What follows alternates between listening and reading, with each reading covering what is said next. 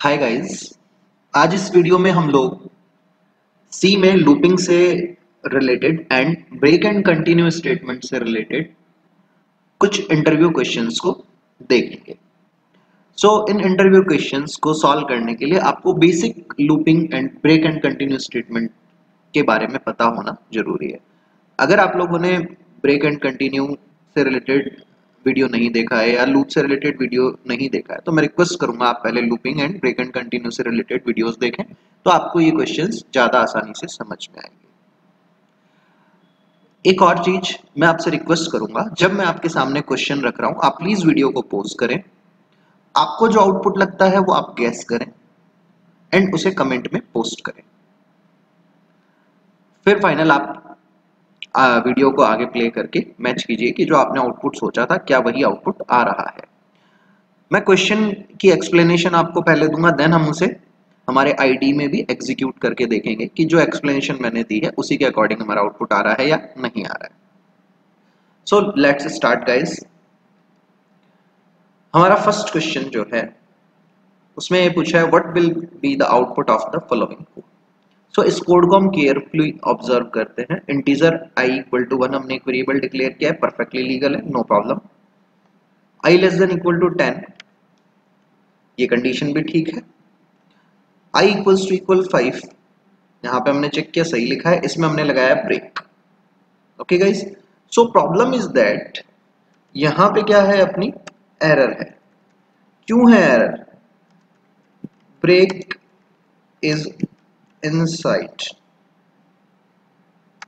if error ये है कि यहाँ पे ब्रेक जो लगाया है, हमने इफ़ में लगाया है बट आप कहेंगे, सर ब्रेक इफ़ में लगा सकते हैं? बिल्कुल लगा सकते हैं बट इफ़ जो है वो सराउंडेड होना चाहिए, या तो स्विच केस के, या फिर लूप के।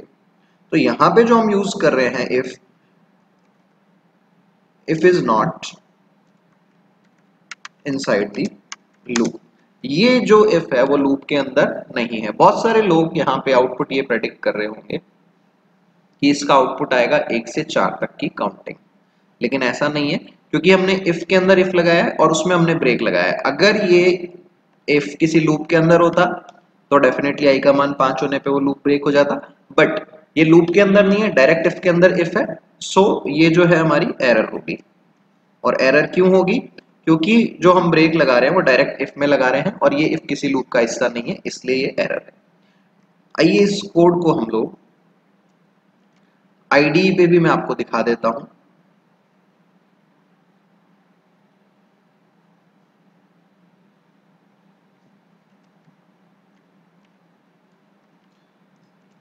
यहाँ पे हमें पूरा फॉर्मेट बनाना पड़ेगा। ऑब्वियस सी बात है डायरेक्ट वो कोड रन कराएँगे तो रन नहीं होगा। वो कोड स्निपेट था, कोड का हिस्सा मतलब।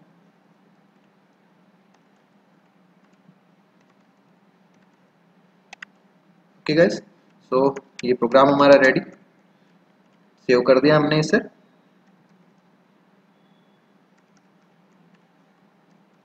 नाउ मैं इसे कंपाइल करता हूँ। एग्जीक्यूट में जाके आप कंपाइल या F9 दबा सकते हैं। So here is the error break statement not within in loop और स्विच राइट ये एरर मैसेज है हमारे पास। इसे मैं कॉपी करके डाल देता हूँ यहाँ पे।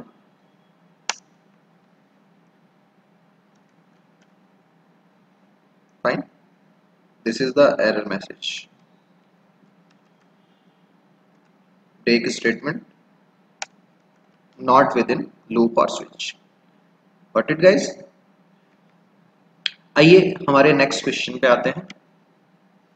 What will be the output of following code simple हमने एक आई वेरिएबल बनाया है। आई को इनिशियलाइज किया है वन से। कंडीशन में हमने लिखा i plus plus less than equal to three correct है। सेमीकोलन लगाया ये भी करेक्ट है। इंक्रीमेंट डिक्रीमेंट खाली छोड़ सकते हैं। देन इसके अंदर हमने प्रिंट कराया आई की वैल्यू को।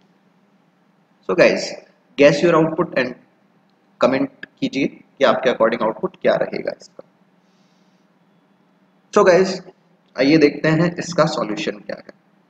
तो फ़र्स्ट ऑफ़ ऑल इस चीज़ को हमें यहाँ पे समझना ज़रूरी है कि i plus plus less than equal to three किस तरह से इवेलुएट होगा। ये एक जो स्टेटमेंट है, इसमें दो स्टेटमेंट छुपे हुए हैं। पहला जो इसमें स्टेप होएगा दैट इज़ यहाँ पे चेक होएगा कि आई जो है वो less than equal to three है क्या। एंड सेकेंड जो इसमें स्टेप होगा दैट इज़ आई बराबर आई प्लस वन एंड उसके बाद में if i less than equal to three then loop body will be executed okay guys देखिए, पहला काम होएगा कंडीशन चेक होएगी देन आई का मान इंक्रीज होएगा इमीडिएटली उसके बाद में, अगर कंडीशन ट्रू है i less than equal to तीन है तो लूप के अंदर आएगा। और वैल्यू को प्रिंट करा देगा। अगेन लेकिन रिपीट कर रहा हूँ ये कंडीशन पहले ही टेस्ट हो रही है।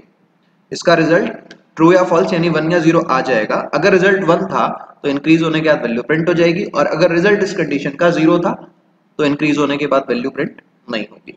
सो so गाइज़ इसका आउटपुट हम देखते हैं। इसको मैं एक्सप्लेन करता हूँ आपके लिए। ये हमारे पास कोड है। नाउ हम देखते हैं यहाँ पे। एक हमारे पास वेरिएबल है i so so,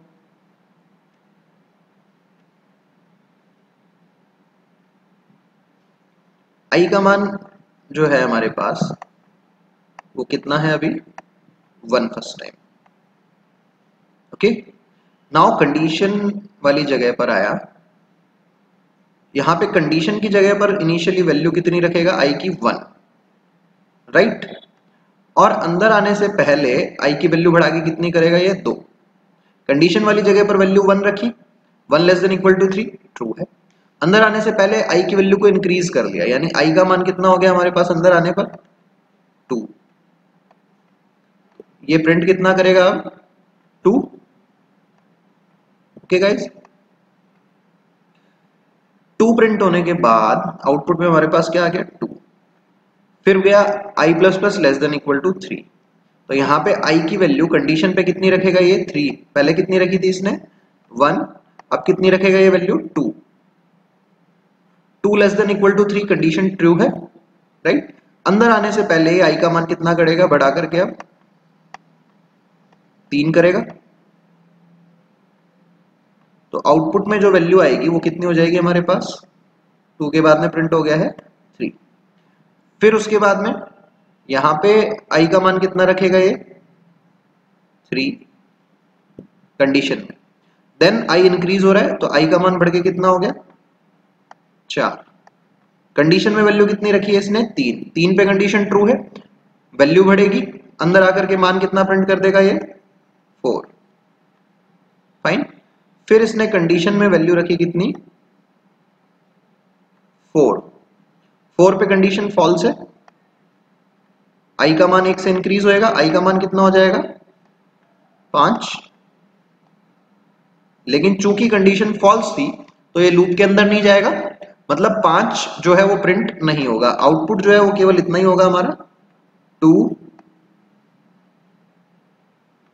three and four केवल ये आउटपुट है हमारा okay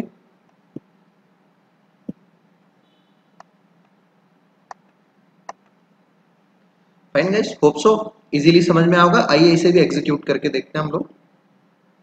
नाउ इस कोड को मैं कॉपी पेस्ट करता हूँ।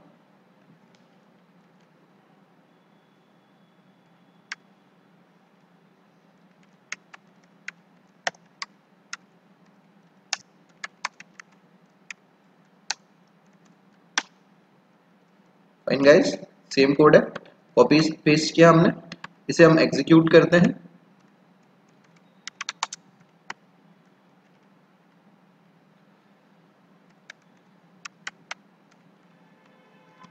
आउटपुट मैंने आपको क्या बताया था? टू थ्री एंड फोर तो this is the output two three and four so guys इस क्वेश्चन को मैं थोड़ा सा एक्सटेंड करता हूँ। सपोज़ दैट कि लूप खत्म होने के बाद भी हमने आई का मान प्रिंट कराया। इस जगह पर। फाइन यहाँ पे भी हम आउटपुट पे आई का मान प्रिंट करा रहे हैं। तो यहाँ पे वैल्यू क्या प्रिंट होगी गाइस गैस कीजिए आप लोग। यहाँ पे भी वैल्यू मैंने प्रिंट कराई आएगी गैस कीजिए क्या होगी फोर होगी फाइव होगी। दोनों में से कोई एक गैस कीजिए कमेंट कीजिएगा। नाउ मैं एक्सप्लेन करता हूँ। देखिए, मैंने आपको बताया था। जब ये लूप हमारा खत्म हुआ आई की वैल्यू कितनी हो चुकी है? पाँच। पाँच पे लूप खत्म हुआ था क्योंकि चार पे कंडीशन ट्रू थी। सॉरी चार पे कंडीशन फॉल्स हुई थी देन इंक्रीमेंट रन हुआ था तो चार से वैल्यू बढ़ के पाँच, लेकिन कंडीशन फॉल्स थी, इसलिए लूप के अंदर वाला हिस्सा प्रिंट नहीं हुआ अपना। तो आउटपुट में टू थ्री फोर है। अब लूप से जब बाहर जा रहा है तो आई का मान पाँच है। तो ये जो बाहर वाला लूप है, इसको मैंने लिख दिया यहाँ पे बैकस्लैश आउटसाइड ओके तो ये वैल्यू आएगी कितने प्रिंट करेगा? फाइव ये देखिएगा इस टू थ्री फोर लूप से प्रिंट हुआ।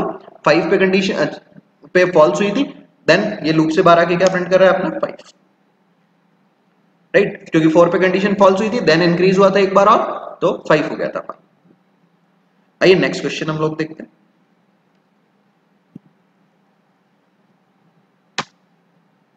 नेक्स्ट हमारा क्वेश्चन है what will be the output of the following code let's check i equal to one correct i less than equal to ten correct then हमने i का मान print करा i का मान कितना प्रिंट हो जाएगा? वन फिर i equal to equal five है क्या? नहीं है. अगर i का मान फाइव होता तो कंटिन्यू रन होता। तो सीधा कहाँ चला जाएगा? I प्लस प्लस पे। राइट i का मान बढ़ के कितना हो जाएगा? टू कंडीशन चेक होगी ट्रू है? टू प्रिंट हुआ। I बराबर पाँच है क्या? नहीं है। Then i plus plus i का मान बढ़ के तीन। कंडीशन चेक हुआ i less equal to ten true है। थ्री प्रिंट हो गया। देन चेक हुआ, i बराबर पाँच है क्या? नहीं है। I प्लस प्लस हुआ, i का मान बढ़ के चार। वापस कंडीशन पे गया। I less than equal to ten true है। आउटपुट में कितना आ जाएगा अपने पास में? चार। यानी अभी तक जो आउटपुट आया है उसमें one, two, three and four आ चुका है। राइट फिर चेक हुआ, i बराबर पाँच है क्या? नहीं है। Then i plus plus i का मान पाँच। वापस कंडीशन पे गया less than equal to ten true है। लूप के अंदर आया प्रिंट एफ़ रन हुआ। मान कितना प्रिंट हो गया? फाइव राइट अब चेक हुआ आई बराबर पाँच है क्या? है तो कंटिन्यू रन होगा। तो जैसे आई का मान पाँच हुआ कंटिन्यू रन होएगा। कंटिन्यू रन होने का मतलब क्या है यहाँ पे? देखिए, जैसे ही कंटिन्यू रन हुआ कंट्रोल जो है, वो ट्रांसफ़र होकर के कहाँ चला जाएगा? सीधा कंडीशन पे। यानी कि जब आई का मान पाँच है कंटिन्यू रन हो रहा है तो ये जो हमारा आई प्लस प्लस है, ये स्किप हो रहा है। क्योंकि ये कंटिन्यू के बाद में लिखा हुआ है। तो ऑब्वियस है कि ये वाला स्टेटमेंट हमारा रन नहीं होगा। राइट अब जब वैल्यू इंक्रीज ही नहीं हो रही तो सीधा कंडीशन पे गया। कंडीशन पे वापस वैल्यू कितनी रखी इसने? पाँच। I less than equal to ten true है वापस, अंदर आया। आई का मान फिर से क्या प्रिंट कर देगा? पाँच। यहाँ पे क्या प्रिंट हो गया? पाँच। फिर आई बराबर पाँच। कंटिन्यू करा, वापस कंडीशन पे चला गया। अब वैल्यू इंक्रीज ही नहीं हो रही तो पाँच पाँच पाँच पाँच पाँच चलता रहेगा। ओके गाइज़ बहुत सारे लोगों ने इसका आउटपुट जो सोचा था, वो सोचा था एक से लेके दस तक गिनती आएगी, लेकिन पाँच स्किप हो जाएगा। राइट लेकिन ऐसा नहीं होगा। प्लीज़ फ्लो को आप गौर से देखें। नाउ उस कोड इस कोड को भी हम एग्जीक्यूट करके देख लेते हैं।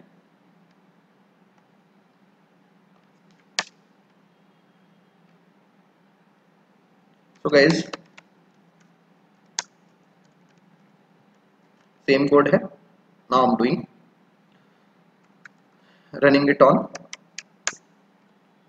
id so, this is the output. 1 2 3 4 and 5 5 5 5 5 चलता रहेगा। Fine, guys. We have to close this window.